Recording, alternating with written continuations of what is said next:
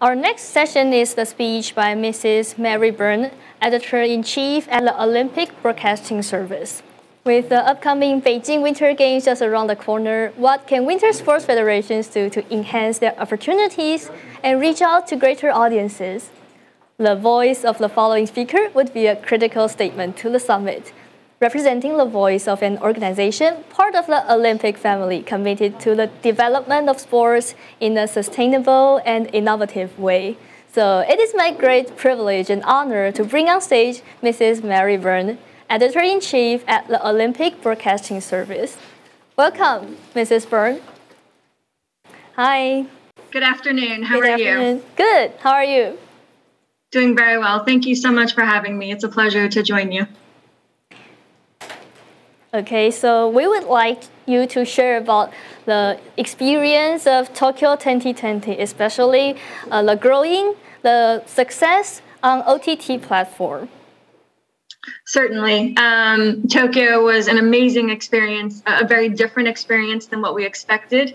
Um, obviously, a very complicated experience um, with the COVID restrictions and everything that happened. Um, but it, as Megan was saying as well, it also provided opportunity. Um, I think it's important to remember that in any sport event, even in the best of times, the majority of people can't actually be there. And so Tokyo was a great opportunity for us to really think about how can you deliver a better digital experience for all of those fans who cannot be in the stadiums. Um, unfortunately, we weren't able to have any spectators in Tokyo, um, which was very sad. Um, I felt so much for my Tokyo 2020 colleagues for how hard they had worked to then not have people in the stands um, with beautiful venues and amazing shots um, but I think, again, Tokyo forced people to be creative and to think about different ways to include fans, to create connections between athletes and fans and their family. And hopefully, those kinds of changes will carry over even with hybrid situations and eventually as fans do come back. So Winter Olympic is also coming. So how do you think, how do you look forward to Beijing Winter Games? Yes, but with Beijing, there's still lots of questions. Um, we still have a few months, uh, but we're looking at it in a similar way, which is we're not sure um, what it's going to look like yet. So we have to think about what are our options. Um, what will it look like with fans? What will it look like if it's hybrid? And so we want to continue to build on those things that worked in Tokyo, finding ways to connect athletes and fans, finding ways, what is that behind the scenes that you can offer? Um, what is that user generated content that's created by an athlete, making that more available to more people? Um, and as well as getting fans involved. You know, what what do they want to know? What are they interested in? And how can we directly connect them? How can we make them feel like they're a part of the of the games? Whether that's clapping, um, through a cheer map, whether that's sending a video that that's then shown on a video board, things like that. So how do you think the difference between Tokyo 2020 and Beijing Winter Games? Is there any situation similar that you can um, copy your success experience or what challenges will you face? Um, I think the biggest challenge with winter sports is it's harder to actually see the athletes. Um, and by that, I mean, if it's a hockey player, there's wearing a mask, there's a helmet, skiing, they're going so fast down the mountain. You don't see them till the end and they whip off their helmet. Um, and so those are things that you sort of have to think with those athletes in those sports, for example, how can you make sure that you make that extra effort so that we see who they are, so we know who they are. Um, with sports like figure skating, where um, thanks to the sport and the emotional nature of it, you all you have a really good sense of who those athletes are, but we know who they are on the ice. We know the story um, of their choreography, and that may be very different than who they are as a person. And so I think it's that opportunity to to show who the athlete is off the ice, off the mountain, and give that broader that broader view of them. So, do you think how, how much to how much degree the pandemic will have impact on Beijing Winter Game? Um, I think it will definitely have an impact. Um, certainly, we've seen different countries with different kinds of uh, requirements regarding vaccination. Uh, there will be undoubtedly there'll be a lot of COVID restrictions on the ground. Uh, we saw that in Tokyo, it's still being developed for Beijing in terms of making sure, number one, that the athletes are safe. Uh, that again, these are athletes who have spent their entire lives uh, building for this moment. We want to make sure that there are safe corridors, safe ways to interview, to interact with them or not interact with them, whatever the, the restrictions may be, to make sure that they're all safe. Even so, there are still ways to, whether it's through events leading up to Beijing or whether it's in Beijing itself, to be able to speak to them, um, to be able to share their stories, and more importantly, for them to share their stories. Um, how can we make sure that they feel comfortable and empowered and are sharing their story? And I think that's that's something that we will see in Beijing. So, how do you think about um, the bubble? Well, how much will it influence, like the athletes or the workers? Anyone? As for the bubble mode? Yeah, um, I think it's hard to say. Uh, the organizing committee is still working that out. What I think is important to remember is we want to make sure that fans are getting the best information. Um, and not that COVID doesn't exist and not to diminish it, but to make sure that the experience isn't so much about the bubble but rather it's about the sport and the amazing things that are happening there to get to know the athletes. Um, they have a harder road because of everything they've been through over the past couple of years with the pandemic. Um, it will be complicated on site, but because of that, not in spite of it, we want to make sure that we take that extra effort to, to celebrate the athlete, to get you excited as a fan about the sport. Uh, winter sports are amazing. Uh, they're dangerous, uh, and not to diminish the danger, but they're exciting. Whether it's uh, you know pair skating and seeing these amazing throws and what's happening there, seeing the different moves, seeing how athletes are constantly challenging themselves, explaining that to fans, letting them know just how amazing it is what they're seeing and how difficult it is. Uh, I think sometimes it's hard to understand that with winter sports um, I always use the example in summer, you see an athlete run, you know, I'm a horrible runner. so when I see them run super fast, I understand, I have a little bit of an understanding that I could never do that or just how fast they're going. I've never had the privilege of being on a skeleton.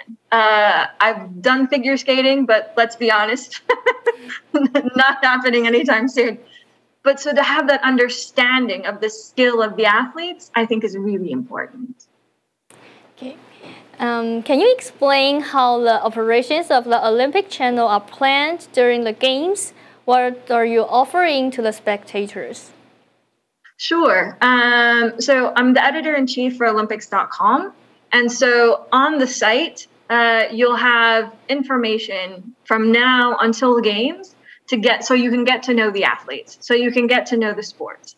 Um, and then, of course, during games time, we ramp it up. Um, and you'll see, you'll have live blogs. So if you want to sort of understand what's happening all over the place, that's the hardest thing about the games, right? You have multiple things happening at the same time. And so we'll have a live blog for you to know that someone just scored in the women's hockey game, that curling is happening, that figure skating is going to start in half an hour, don't miss it keep you up to date with everything um, so that you see the schedule, you see the result. And most important, again, the stories. Who is this athlete?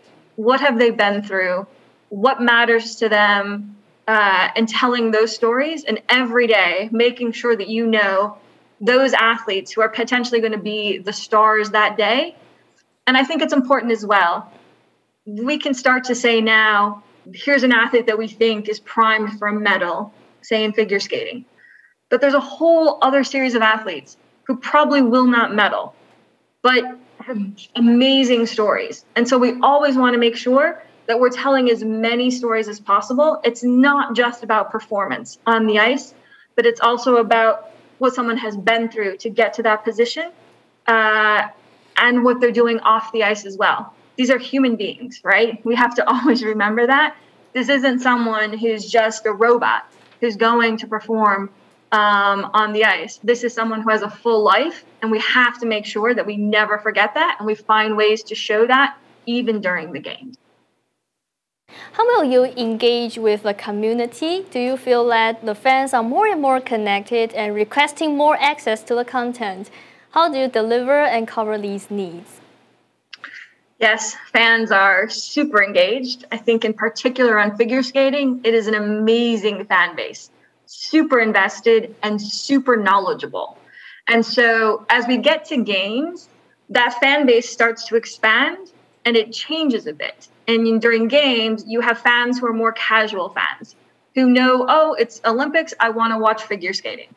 And then you have fans who watched the Nebelhorn Trophy this past weekend to find out who got the ultimate spots for the games.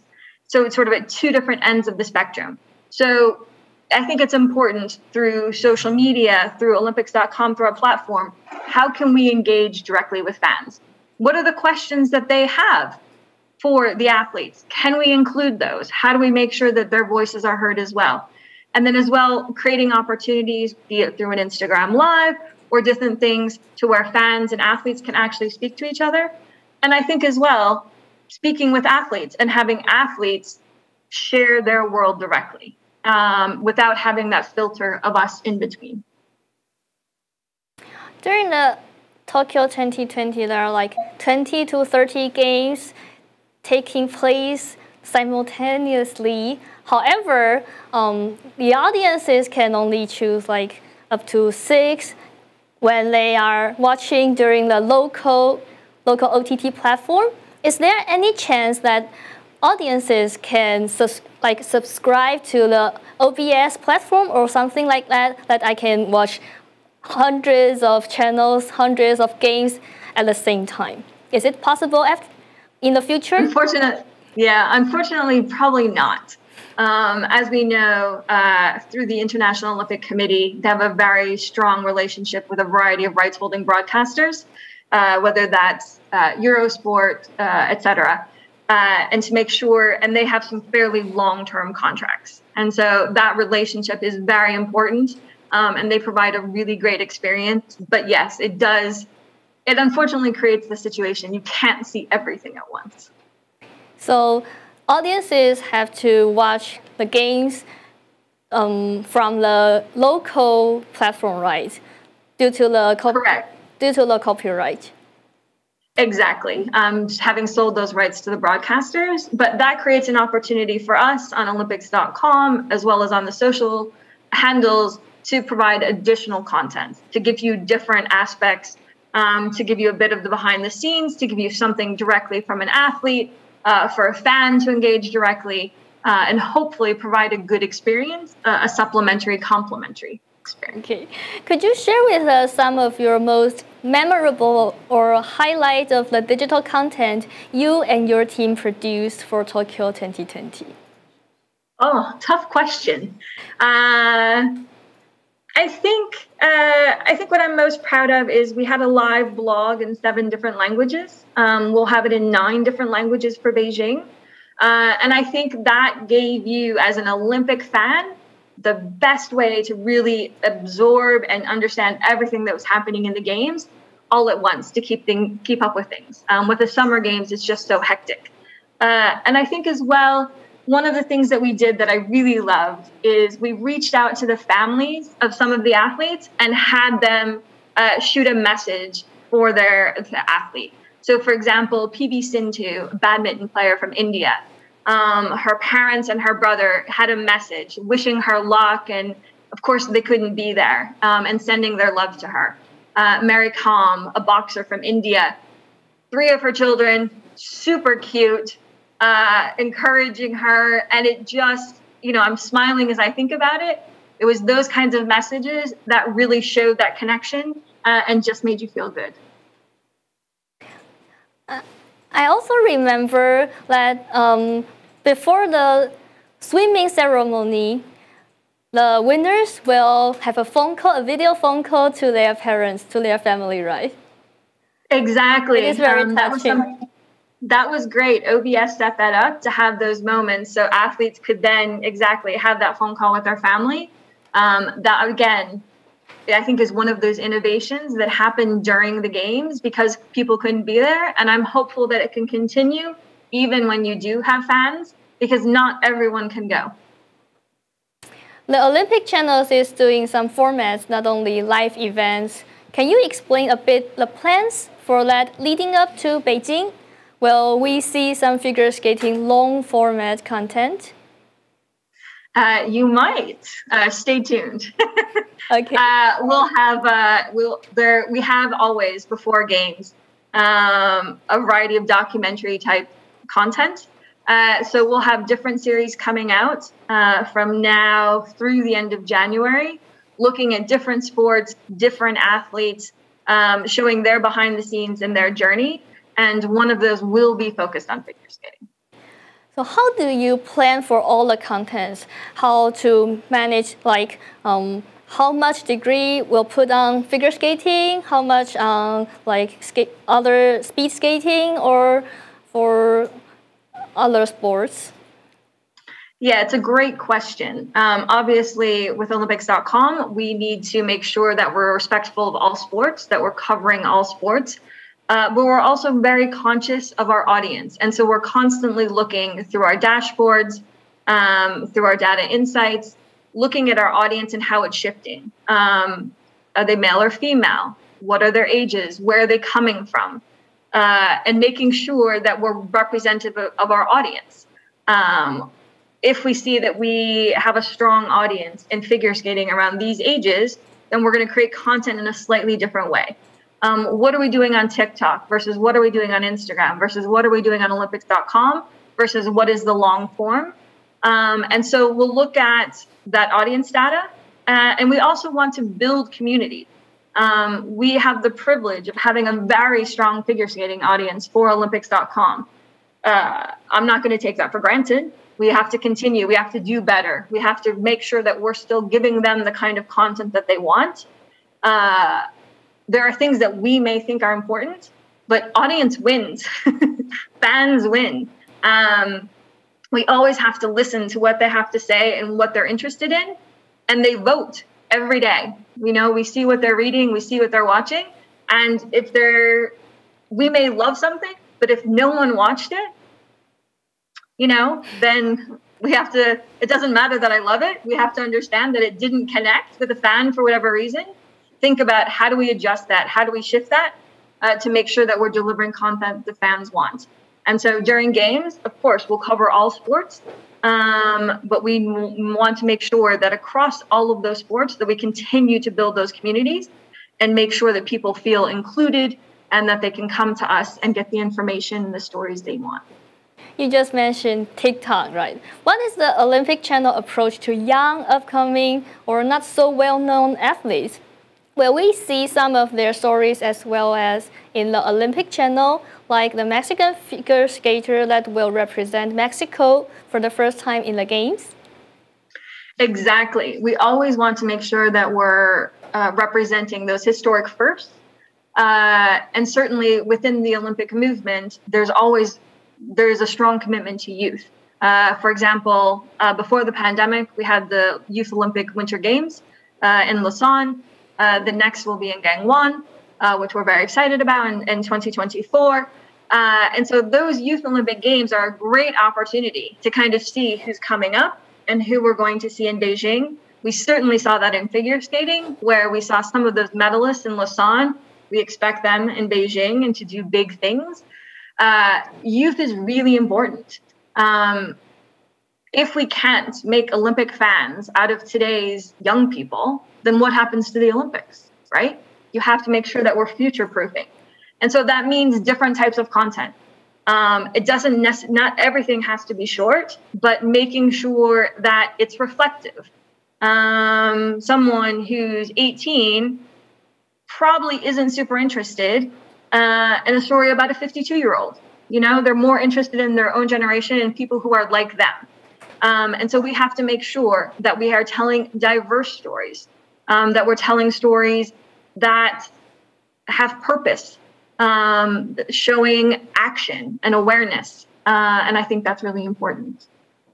Can you give us some hints on what we can expect in Beijing on the Olympic channel? Sure. I know it's a secret now, but can you give us some hints? Sure. Um, as I mentioned, um, we'll have uh, we'll have original series coming up between now and the end of January. So stay tuned. Um, those will really start to kick off uh, in November, November, December, January, as we really get into the heart of the winter season. During the games itself, uh, nine coverage in nine languages, um, a live blog letting you know what's happening. Um, we'll look to do some second screen experiences, hopefully. Um, we did one in Tokyo around sport climbing uh, with the sport climber Alex Honnold, where he was in the States. Um, we had a moderator and he was watching the sport climbing as it was happening and just sort of talking through. Um, these are people that he had climbed with, these were people he knew, and sort of just explaining to us, oh, that's really hard. And sport climbing is a new sport. People may not be as familiar with it. Um, but that was something that people really connected with. Um, he was answering questions from fans as we did it. And so, how can we take that kind of experience and translate to that to winter sports is one of the things we're investigating right now. So maybe it will be applied to new sports, right? Potentially, yes. Okay, so how do you think the pandemic has changed the approach? What are some of the challenges that the pandemic brought to the Olympic channel? Uh, I think one of the challenges is certainly uh, access. Uh, we were really worried about not being at an event and not being able to speak to athletes. And I think honestly, the pandemic created better access in many ways. Um, you had more access to athletes through Zoom, through Blinder, through different through different applications. Uh, I think certainly at the beginning of the pandemic, uh, people felt isolated. And so they were really eager to speak and to, to reach out and they wanted to share their stories. That's shifted as we've found ways to now to sort of start to live with COVID and, and to have different experiences. I think for Beijing, uh, the pandemic will have an impact in that last season for winter season was a bit chaotic um, and was not a normal season. And so it'll be interesting to see uh, how this season evolves um, how people have been able to train. And I think we saw that in Tokyo. There were a lot of surprise medalists. There were a lot of things that people were like, whoa. And I think that potentially can happen in Beijing as well.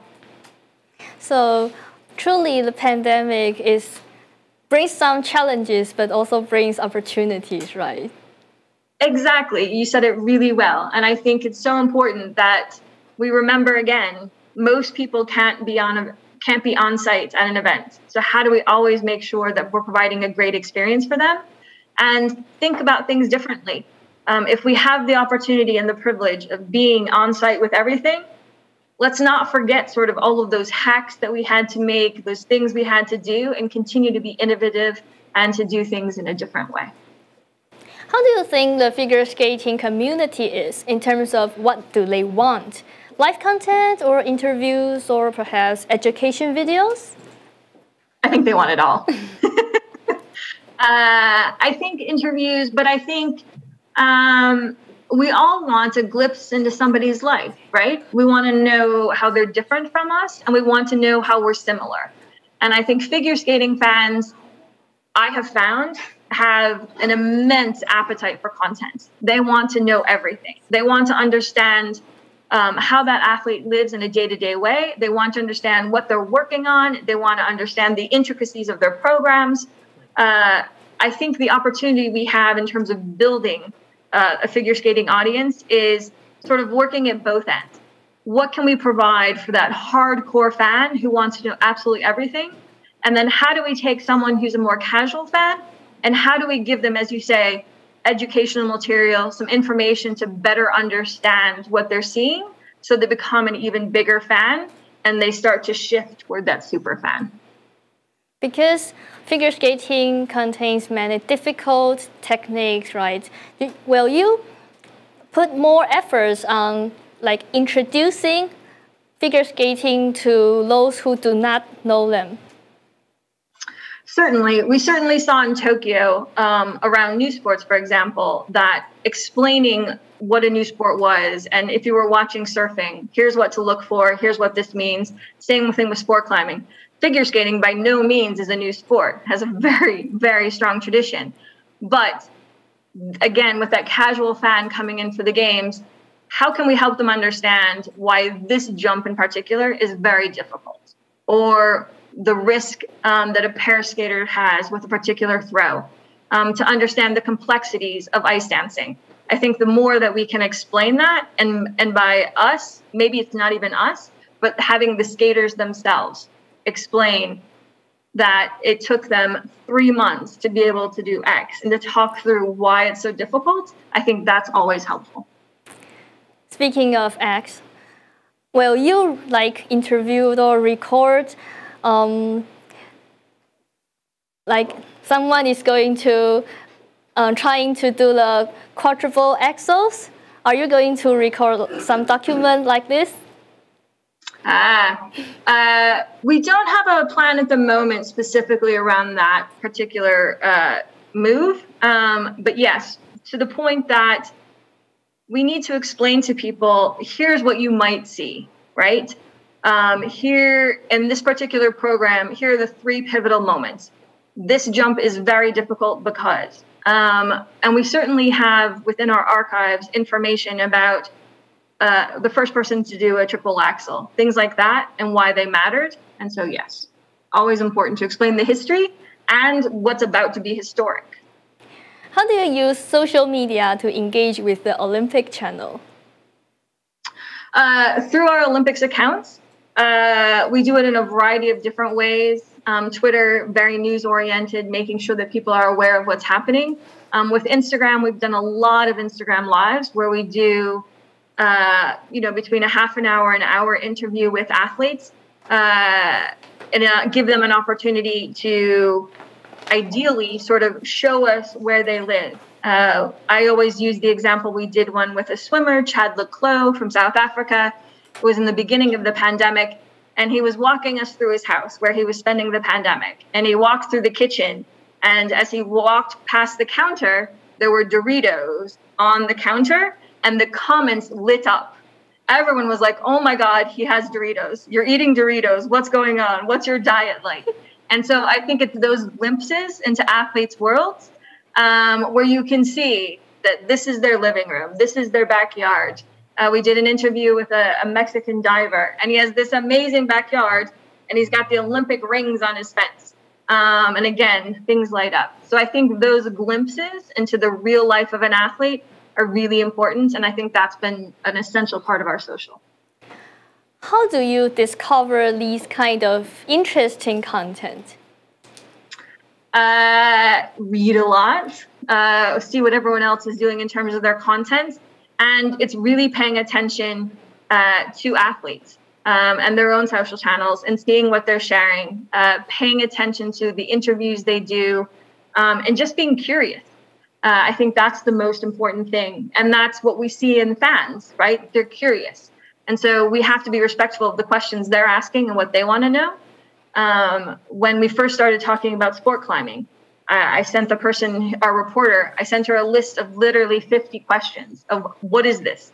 Um, and I think fans have those same questions, and it's our responsibility uh, to answer those questions.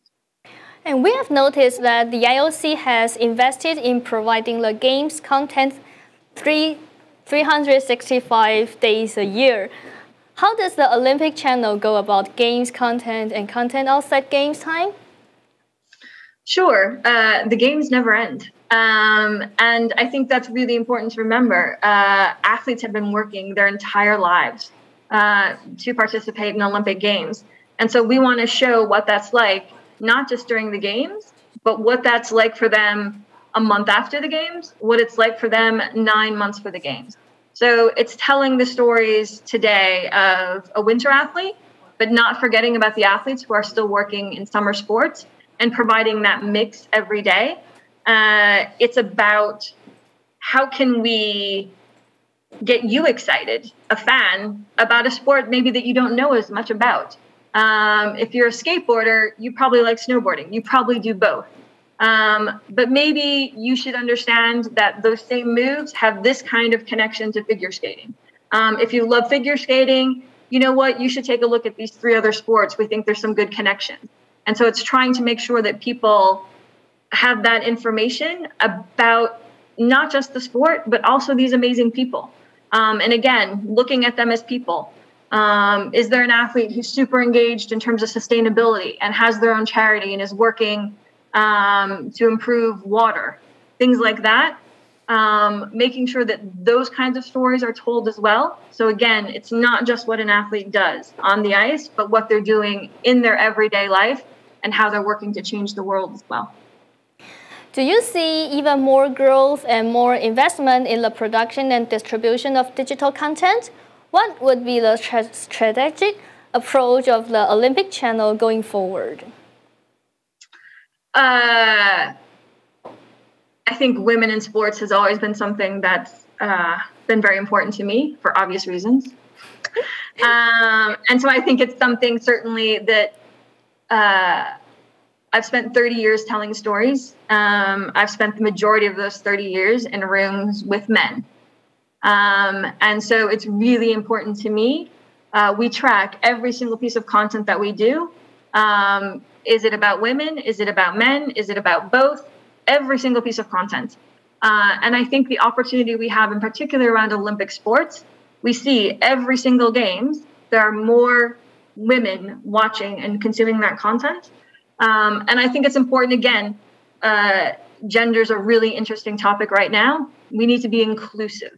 Uh, we need to make sure that we're telling stories about all athletes, um, all gender identities, and making sure that we're creating environments on Olympics.com, on our social channels, where people feel welcome, where they feel safe, uh, and where they can consume stories about people who are just like them.